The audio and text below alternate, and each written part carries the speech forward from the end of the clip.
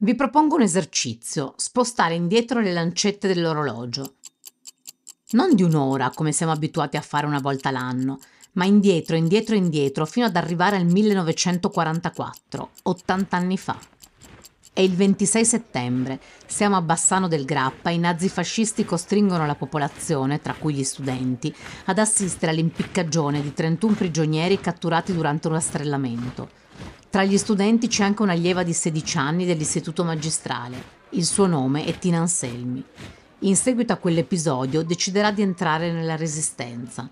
Il 29 luglio 1976 diventerà la prima ministra della nostra Repubblica.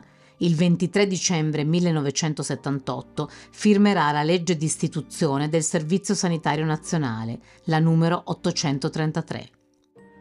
Torniamo al 1944, qualche mese dopo, l'11 dicembre, siamo a Venezia e c'è uno studente universitario di medicina che scappa sui tetti e viene catturato e arrestato per attività antifascista. Resterà in carcere fino alla liberazione. Si chiama Franco Basaglia. Il 13 maggio 1978 verrà approvata la legge che porta il suo nome, la numero 180, con cui si sanciva la chiusura dei manicomi. Cosa c'entrano Tina Anselmi e Franco Basaglia con la democrazia? Io ai giovani questo io dico, battetevi sempre per la libertà, per la pace. I have a dream.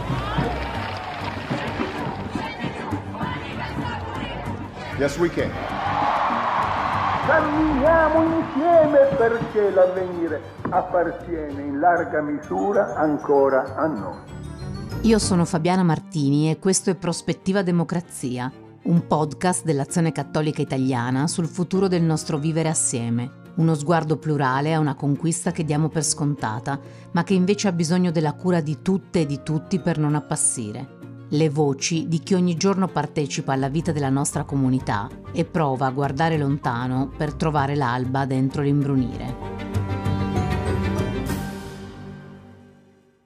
Ci stavamo chiedendo cosa c'entrassero Tina Anselmi e Franco Basaglia e il loro impegno nel campo della salute con la democrazia.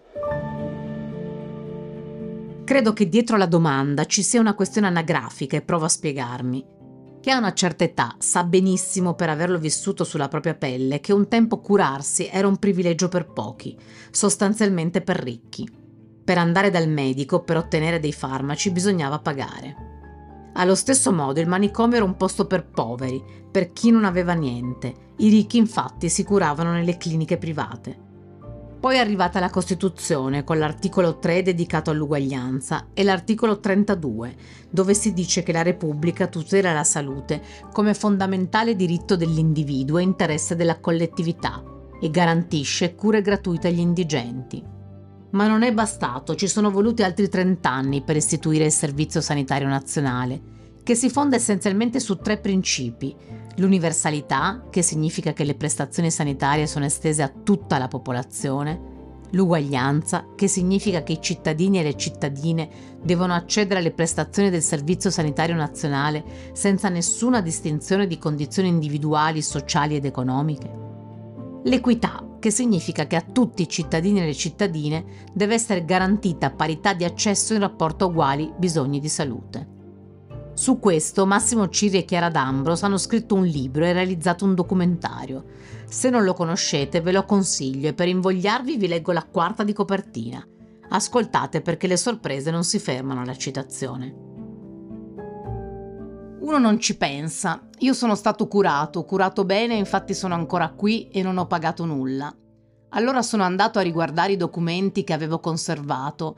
Tomo scintigrafia globale PET, importo 1081,86 euro e io non ho pagato nulla, ma neanche una lira, perché c'è il Servizio Sanitario Nazionale.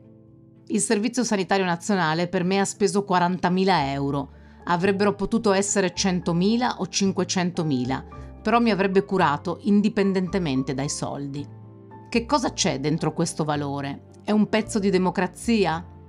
Questo si chiede Massimo Cirri, conduttore della trasmissione di Radio 2 Caterpillar, ma anche psicologo, nel libro Quello che serve, un racconto tra malattia, cura e servizio sanitario nazionale, scritto assieme alla giornalista e filmmaker Chiara D'Ambros, è uscito nel 2022 per i tipi di Manni Editori. Massimo, ci riveli le conclusioni a cui siete arrivati nel libro? È un pezzo di democrazia, davvero? Perché? Possiamo ancora dire che la nostra Costituzione è un'assicurazione sulla vita? Eh sì, credo di sì, Fabiana. Credo che alla fine il concetto che più si avvicina a questo meccanismo per cui eh, io sono stato curato e non ho speso nulla e sono stato curato indipendentemente da chi fossi ma semplicemente perché sono una, un cittadino, credo che il concetto più vicino sia quello lì, sia quello di democrazia. E che cosa sia democrazia poi non è facilissimo definirlo. In questo caso una macchina di uguaglianza, una macchina di, di fratellanza, una macchina che tiene tutti più o meno nello stesso livello di possibilità quando la questione è che hai avuto un infarto e sei finito al pronto soccorso o sei molto malato, hai una malattia di quella lunga, cronica, insomma, e quindi un meccanismo di parità per cui tu vali indipendentemente da quello che hai, semplicemente perché, perché sei. A me viene da chiamare democrazia. Quella domanda io l'avevo fatta all'oncologa che mi aveva curato, la dottoressa Laura Rocati, lei mi aveva detto che non lo sapeva neanche lei perché è una domanda molto, molto articolata perché dietro ci sono molti valori, però la Locati è anche una donna della Brianza, mi aveva detto sì, lei è guarito, torni a fare il suo lavoro, si levi di torno. Certo. Eh, senti, ma le cronache a proposito di medici, eh, di oncologi, eccetera, insomma, le cronache narrano che a un congresso della SIMEU, la SIMEU è la Società Italiana di Medicina di Emergenza e Urgenza, eh, tu abbia detto, eh, confermami se, se è andata veramente così, se è vero, quando tornate a casa dal lavoro e i vostri figli vi chiedono cosa avete fatto oggi, non dite se avete curato un bambino o un anziano, ma dite ho applicato la Costituzione. Allora, prima confermami se è vero o se è, come dire, una notizia falsa e tendenziosa. Poi immagina che io sia tua figlia che abbia dieci anni e ti chieda cosa vuol dire applicare la Costituzione, papà? Cosa mi risponderesti? No, credo di averlo detto, eh, credo di averlo detto forzando un po' un concetto, ma credo che sia vero. Eh, quando nel, nel 78 si istituisce il Servizio Sanitario Nazionale, quindi si supera quell'altro meccanismo, quello delle mutue, eh, ti curo per il lavoro che fai, perché curando te, il lavoratore o la tua famiglia, se la mutua era una di quelle buone, tengo insieme il sistema produttivo e si dice ti curo perché sei, perché sei un, un cittadino, è un'applicazione 30 anni dopo della, della Costituzione che dice portarci tutti, essere tutti, tendere il più possibile a un sistema eh, di uguaglianza. E poi questo sistema di uguaglianza io credo che sia anche quello che permette a una, a una società di crescere economicamente, perché andare a lavorare libero dalla paura della malattia, dalla paura del futuro, da, da quella paura eh, che, che, noi neanche conosciamo, ma che sappiamo è la quotidianità della vita delle persone malate in buona parte dei paesi del mondo che si chiama l'impoverimento per malattia. Ho una malattia, riesco a curarmi e quindi mi salvo la, la vita, riesco a rimanere in vita, però per far questo divento povero, insomma, che poi è un meccanismo che, che, che rende tutto complicato, rende più difficile guarire. A noi questo è risparmiato quindi direi alla figlia di 10 anni, eh, sì, eh, qualcuno che di lavoro tiene la società in salute, tiene le persone in salute, applica la Costituzione, perché la Costituzione dice che siamo, che siamo uguali, uguali davanti alla legge, uguali, il più possibile uguali davanti, davanti al futuro, e il futuro sappiamo è fatto anche di fragilità, di malattia, di, di sconfinamenti, insomma, e tenere questo meccanismo che ci tiene il più possibile lontani dalla morte io credo che alla fine sia veramente un meccanismo di eguaglianza di democrazia. Grazie, quindi difendere la democrazia significa anche difendere il Servizio Sanitario Nazionale e viceversa. Assolutamente, assolutamente. Guarda, la, la metterei di più su, su una questione di soldi ogni soldo sottratto dall'evasione, eh, fiscale o da, da, da investimenti che invece di andare alla sanità pubblica vanno anche alle forme sussidiarie del welfare, io credo che alla fine, permettimi questa radicalità, siano soldi sottratti alla democrazia. Massimo Cirri parla di macchina dell'uguaglianza. Che immagine potente, non trovate? Parla di un sistema, la nostra democrazia, dove ognuna e ognuno di noi conta perché è e non perché ha. O almeno così dovrebbe essere. A questo proposito, Franco Basaglia, di cui con gratitudine ricordiamo quest'anno il centenario della nascita, amava spesso ricordare un proverbio calabrese che dice chi non ha non è. Questo per dire che la nostra società, nonostante gli impegni presi con la Costituzione, tendeva a garantire solo i già garantiti, a curare i sani e a respingere i malati, potremmo dire parafrasando Don Milani. Da qui la sua battaglia, che più che una nuova proposta psichiatrica fu una vera e propria denuncia civile, per ridare dignità umana alle tante persone abbandonate negli ospedali psichiatrici, fino a quel momento considerate non persone, pericolosità da isolare o mera esistenza animalesca da relegare e dimenticare, come scrisse Claudio Magris qualche anno fa. Cittadine e cittadini privati di ogni diritto, che prima di essere matti avevano la colpa di essere poveri, esclusi senza cittadinanza e senza adeguata difesa, uomini, donne e bambini ridotti a numeri di matricola, a scarti rinchiusi in luoghi che erano diventati dei veri e propri depositi di spazzatura, mentre in realtà erano solo cittadine e cittadini più sfortunati e bisognosi di aiuto, che non avevano avuto le stesse possibilità. Ecco, se c'è un luogo dove davvero non si fa preferenze di persone, dove in caso di necessità ci portano tutti prima ancora di sapere come ci chiamiamo, quello è il pronto soccorso. Ne abbiamo parlato con chi questo tempio della democrazia lo conosce bene, il dottor Mario Calci, primario del pronto soccorso di Udine fino a dicembre dello scorso anno. Dottor Calci, cosa c'entra, secondo lei, la salute con la democrazia? Più che con la democrazia, la salute c'entra forse con la nostra visione della democrazia, perché sappiamo che nel mondo ci sono eh, democrazie di stile liberale, come negli Stati Uniti, dove la salute, la salute di tutti i cittadini non è al, al centro dell'interesse dello Stato, lo è soltanto se vengono fatte delle leggi ad hoc e sappiamo che ci sono regimi totalitari come quelli di ispirazione marxista, l'ex URSS, Cuba, che hanno comunque garantito dei sistemi sanitari di discreto livello, questo storicamente è noto a tutti. Quindi io direi che noi dobbiamo fare riferimento al modello di democrazia eh, italiano che, che, è in qualche modo basato sulla nostra Costituzione, quindi sugli articoli della Costituzione che parlano di salute e, nella Costituzione si dice che la salute è un bene eh, inalienabile della singola persona che quindi è libero di decidere di come gestirla, ma non è solo un bene della persona, ma è anche un interesse dell'intera comunità e soprattutto è un bene che va garantito a tutti, quindi introducendo un concetto di solidarietà che mi sembra fondamentale nella, nello sviluppo della nostra società e del nostro modello di sistema sanitario modello che si è sviluppato ed evoluto lentamente negli anni, per cui non è che siamo arrivati da quello che ha scritto la Costituzione immediatamente a realizzarlo, però nel tempo le linee sono state quelle. Quindi direi che la salute, la, la garanzia della salute di ogni cittadino è proprio un'espressione della democrazia così come è declinata dal, dalla nostra Costituzione. Indipendentemente dalle dimensioni del nostro portafoglio, dal luogo in cui abitiamo, dal colore della nostra pelle.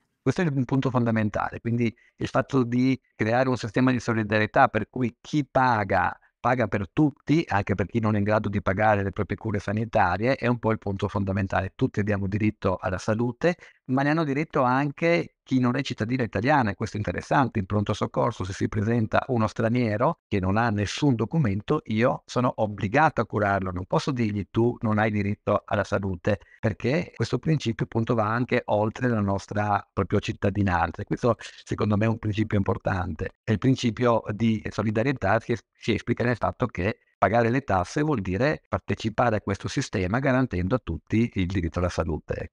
A proposito di pronto soccorso, una realtà che lei conosce bene, cosa significa lavorare nell'emergenza e cosa avete imparato durante l'esperienza pandemica che vi ha messo a dura prova? Il pronto soccorso per me è stata una scelta cosciente di un luogo dove il medico, l'infermiere, l'OS, insomma gli operatori sanitari garantiscono a chiunque si presenti tutte le cure necessarie, cure che spesso il cittadino non riesce ad avere quando il sistema va in affanno e quindi la lista d'attesa si allunga e quindi i percorsi non sono organizzati bene. Quindi spesso noi troviamo il paziente con la patologia acuta grave, ma spesso troviamo anche il paziente che ha già cercato delle risposte e che non è riuscito ad averle.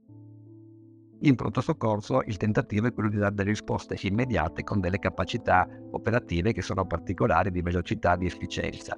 Tutto questo da un lato è l'aspetto positivo del pronto soccorso, dall'altro il pronto soccorso appunto trovandosi a essere il punto di arrivo di tutti i bisogni è un po' eh, il luogo che spesso va in crisi, lo si legge tutti i giorni sui giornali, pronto soccorso affollato, difficoltà a ricoverare, difficoltà ore di attesa. Perché? Perché di fatto chi non ha una risposta viene in pronto soccorso, il pronto soccorso ha le porte per definizione sempre aperte in entrata, spesso se le trova chiuse in uscita quando eh, i reparti per esempio non sono in grado di ricoverare.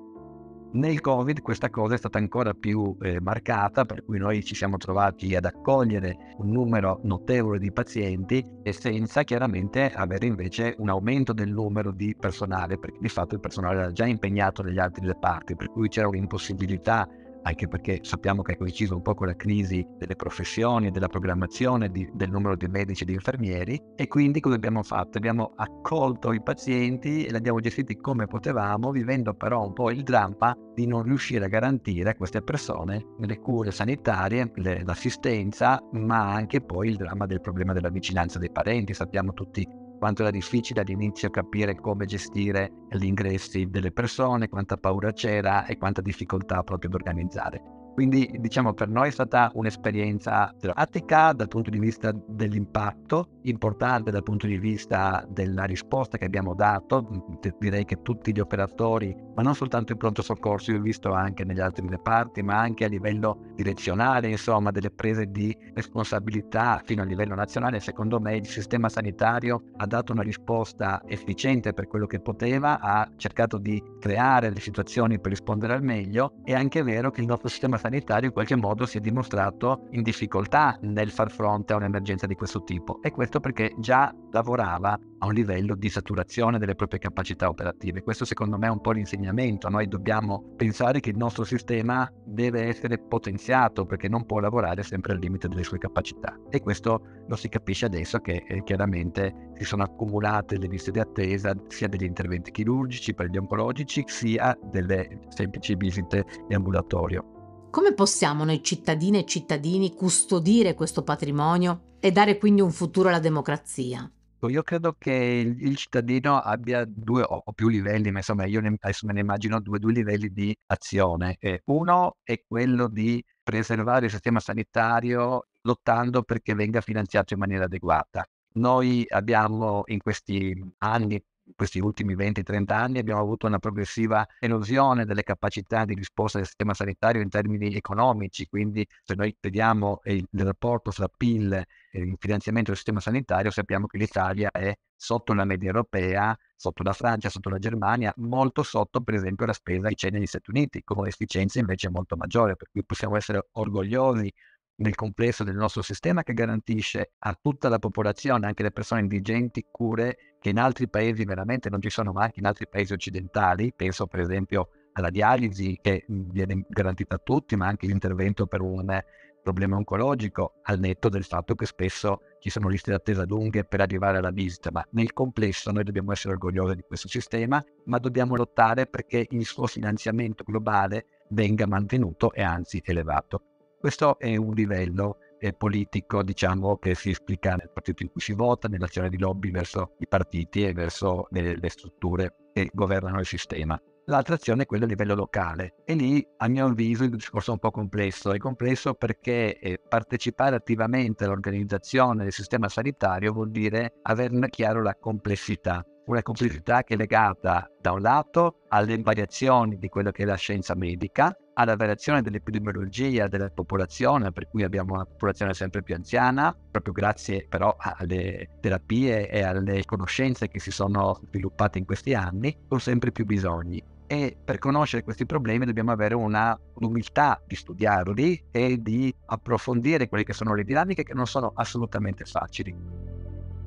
Tanto per dire una cosa molto semplice, abbiamo tutti in mente che la sanità è legata all'ospedale, quindi una visione ospedalocentrica, ed è legata all'attività del medico. Oggigiorno non può essere più così. La sanità deve essere legata molto di più al territorio e deve dare spazio a tante figure professionali, in primis l'infermiere, ma anche il fisioterapista, l'OS e altre figure, che hanno ognuna di loro la sua specificità e che devono poter esercitare la propria autonomia in modo da essere funzionali al sistema. Su questo io credo che eh, sia necessario che le comunità prendano coscienza di questo fatto e che elaborino delle loro riflessioni in modo da poter spingere anche appunto i decisori politici ma anche i tecnici a eh, fare le scelte più appropriate sul territorio. Se noi intendiamo la democrazia anche come responsabilità nostra, no? quindi democrazia non è solo scegliere, poter votare, ma anche poter essere responsabili del funzionamento delle cose, questo discorso della presenza del cittadino nel territorio, se riusciremo a mettere in atto quei modelli che a livello nazionale sono in qualche modo già stati delineati, quindi di presenza capillare del territorio nelle comunità, in quei punti veramente l'interazione fra struttura sanitaria e associazione di volontariato cittadini potrebbe essere funzionale a garantire una copertura eh, sanitaria e sociale più completa e più pervasiva e partecipata. Quindi mi sembrava bello sottolineare questa cosa. Insomma, la salute sembra essere in affanno come la nostra democrazia. Lo aveva detto il presidente Mattarella nel messaggio di fine anno parlando delle difficoltà che si incontrano nel diritto alle cure sanitarie per tutti, con liste d'attesa per visite ed esami in tempi inaccettabilmente lunghi. Lo hanno denunciato recentemente anche 14 scienziati e scienziate in una lettera aperta indirizzata alla Presidente del Consiglio Giorgia Meloni, in cui sottolineano che l'investimento destinato alla salute nell'ultima legge di bilancio è soltanto di 131 miliardi, il 6,2% del PIL, meno di vent'anni fa, contro i 423 miliardi della Germania e i 271 della Francia, che arrivano all'8%. I firmatari ricordano che dal 1978, data della sua fondazione, al 2019 il Servizio Sanitario Nazionale in Italia ha contribuito a produrre il più marcato incremento dell'aspettativa di vita tra i paesi ad alto reddito. Siamo passati da 73,8 a 83,6 anni. Ora però è in crisi e rischia di non riuscire a garantire il rispetto dei livelli essenziali di assistenza. Tra 25 anni Quasi due italiani su cinque avranno più di 65 anni. Molti saranno affetti da almeno una patologia cronica e il sistema non sarà in grado di assisterli. Bisogna correre ai ripari, dicono gli esperti, anche perché un sistema sanitario nazionale che funziona non solo tutela la salute, ma contribuisce alla coesione sociale. Lo sa bene Maria Vanto, 67 anni, calabrese, pensionata, che ha lavorato per circa 40 anni come assistente sociale nel Servizio Sanitario Triestino e ora è attivista nel Comitato di Partecipazione per i Consultori Familiari e nel Coordinamento per la Difesa della Salute Pubblica. Io sono in pensione dal primo maggio 2023 ed è una data che ho scelto io, il primo maggio, proprio il giorno della festa del lavoro, perché grazie al lavoro e quindi al lavoro così come è stato inteso dalla Costituzione in poi, io poi son, ho potuto andare in pensione, no? perché il nostro è un sistema di solidarietà. Il primo maggio del 2023 è iniziata questa battaglia. Il primo gesto è stato uscire dal silenzio perché l'azienda sanitaria stava riorganizzando tutti i servizi territoriali, togliendo diciamo, il contatto con la cittadinanza di fatto diretto nel suo contesto di vita e quindi il primo maggio è partito con un volantino fatto all'interno dello SPICIGL, io sono anche nello SPICIGL, per informare chi era al corteo e la cittadinanza che come sempre ai bordi diciamo, del corteo che stava accadendo questo. E questo secondo me è il primo gesto di democrazia perché le cose si devono sapere soprattutto quando si toccano dei beni così fondamentali come i sistemi che tutelano la salute, cioè perché l'articolo 32 dice la Repubblica attraverso le sue articolazioni tutela la salute. Quindi da lì devo dire che è partita immediatamente un'adesione spontanea di all'inizio molte donne, poi donne e uomini e da lì è partita tutta la protesta. Perché l'abbiamo fatto e perché continuiamo? L'abbiamo fatto certamente per contrastare questa chiusura e soprattutto per informare e coinvolgere la cittadinanza perché si interessi a questi beni che sono a rischio.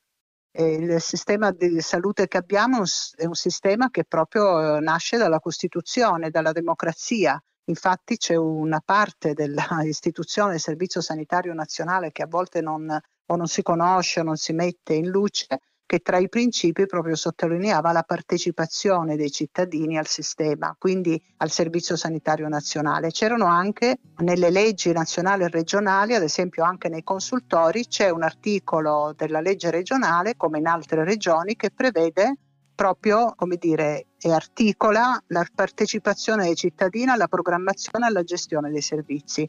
Questa è l'essenza della democrazia, e mentre purtroppo negli anni si è forse inteso che il servizio sanitario è di proprietà delle regioni o addirittura dei direttori generali come se fossero appunto aziende private, ma non è così, ci appartiene, è nostro e quindi dobbiamo entrare nel merito. Io penso che la democrazia si basa sulla partecipazione e sul coinvolgimento proprio dei cittadini, perché eh, la Repubblica è nata da questo, non è nata da un atto diciamo dall'alto né di un regnante né di un unico uomo al potere, è nato proprio dal basso perché i cittadini l'hanno scelta. Quindi questo imprinting, a mio parere, va, come dire, rimesso in gioco. Forse per tanti anni ci siamo un po' distratti, abbiamo un po' delegato. Io credo che la delega deve essere sempre una delega partecipata e a partire dal, dall'andare a votare perché è quello che poi condiziona, no? Ma non basta votare, poi bisogna stare addosso, nel senso non bisogna dare una delega in bianco, noi dobbiamo sempre far sentire la nostra voce.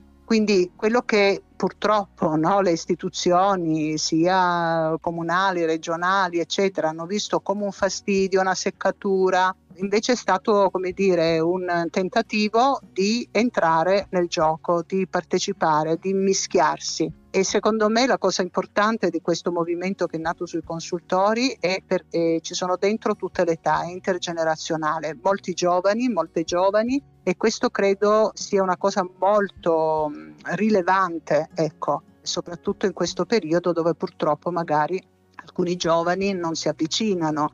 È vero, bisogna immischiarsi, protestare perché non è una cosa vietata, non è garantita dalla Costituzione manifestare, esprimere il proprio dissenso, anzi è questo appunto il motore principale della democrazia, perché se no eh, appunto diciamo si avvicina molto al regime, se no. Avete sentito? Secondo Maria non basta votare, bisogna stare addosso, immischiarsi, protestare. Sulla stessa linea la giornalista Barbara Scaramucci, Una vita in Rai, è stata la prima donna a ricoprire l'incarico di direttrice giornalistica, ora presidente onoraria dell'Associazione Articolo 21. Avere un servizio sanitario per tutti che garantisce un livello di prestazione sanitaria adeguata per ogni tipo di cittadino, dal più povero al più ricco, è di per sé, senza bisogno di citare l'articolo della Costituzione italiana che lo prevede, una forma avanzata di democrazia e di coesione sociale. Perché avere un riferimento comune, a prescindere dal tuo reddito, dal tipo di lavoro che fai, quindi dal tuo stipendio o anche dal tuo patrimonio generale, che dà, dovrebbe dare le stesse garanzie a tutti, è veramente un'applicazione, direi, straordinaria della democrazia e anche sì, della coesione sociale intendo dire che tutti ci dobbiamo sentire un po' uguali in questo senso. E questo era in realtà veramente la razio della legge studiata essenzialmente da Tina Anselmi nel lontano 77-78, poi fu varata nel 79. Purtroppo tutto questo progressivamente si è andato impoverendo in maniera spaventosa e oggi siamo ad un servizio sanitario nazionale che non garantisce, non solo non garantisce più gli stessi diritti di accesso, ma addirittura non garantisce alcuni diritti principali, perché se eh, tu hai una diagnosi di tumore e devi fare un TAC o una PET e ti viene risposto che la devi fare fra 7-8 mesi, eh, in quel momento viene leso il tuo diritto alla salute in modo plateale, evidente, non c'è bisogno più di spiegarlo a nessuno. Poi c'è una sproporzione e una differenza non prevista né dalla legge né dalla Costituzione fra una regione e l'altra. Quindi questa forma di democrazia che realmente era il Servizio Sanitario Nazionale oggi purtroppo non lo è più. E noi che cosa possiamo fare come cittadine e cittadini per difenderlo? Prima di tutto ribellarci, disobbedire, come diceva Don Milà, protestare, andare in piazza, di più, presidiare i luoghi della sanità, dare una mano alle categorie che davvero sono in sofferenza e fra queste categorie in sofferenza ci sono molto, molto spesso, prima di tutti, i sanitari, gran parte dei medici, quasi tutti gli infermieri e gli operatori sociosanitari. Anche Barbara ci ricorda con determinazione i rischi che corre il nostro sistema sanitario e di conseguenza la nostra democrazia e ci invita a non rassegnarci, ad andare in piazza a protestare. Del resto, se ci seguite dall'inizio, ricorderete che protestare era stata anche la parola chiave che ci aveva offerto Giorgio, il più giovane degli intervistati della prima puntata. Sui rischi poi è concorde pure il nostro esperto, il professor Michieli. Ascoltiamo la sua pillola di diritto costituzionale.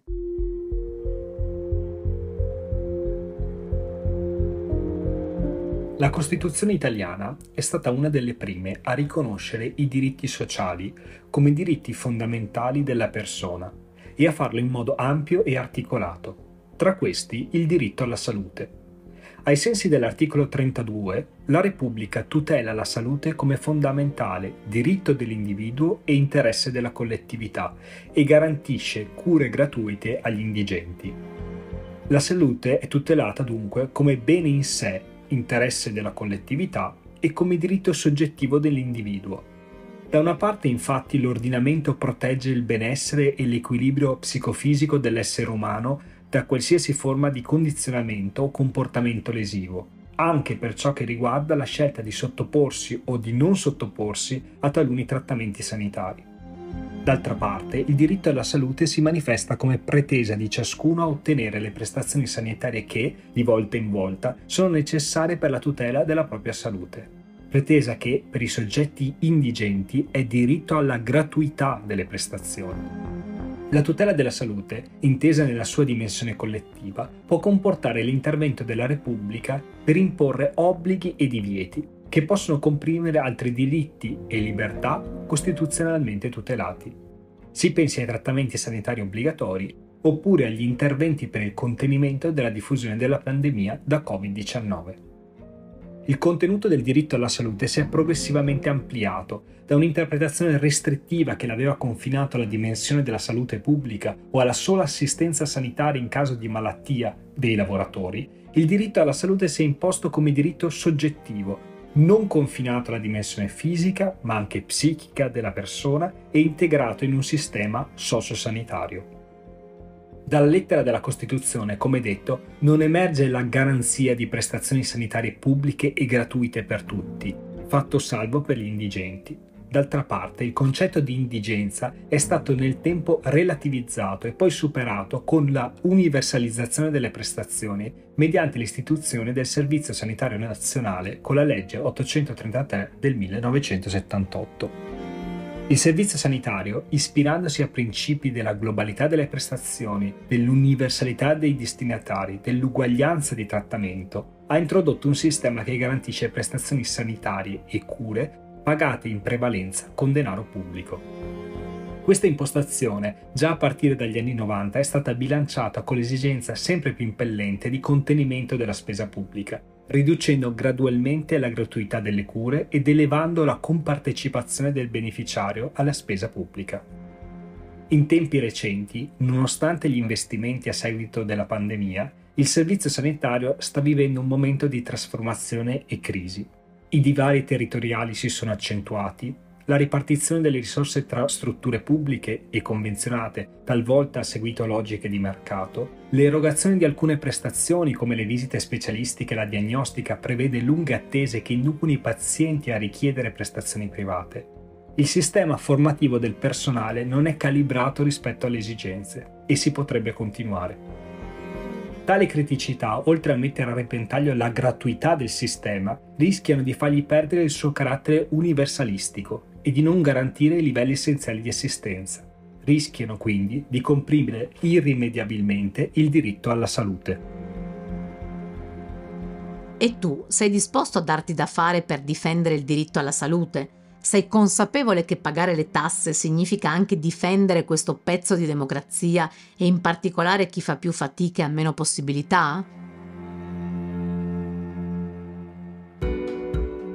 Volevo ricordarti che se ti piace questo podcast puoi aiutarci a diffonderlo condividendolo con i tuoi amici e le tue amiche, ma anche attivando la campanella per seguire il podcast e lasciando 5 stelle di valutazione. Ultima cosa e poi continuiamo. Abbiamo pensato di attivare un indirizzo email per confrontarci insieme sui contenuti del podcast. Se vuoi mandarci un commento o condividi una riflessione, puoi scrivere a prospettivademocrazia chiocciolaazionecattolica.it. Grazie.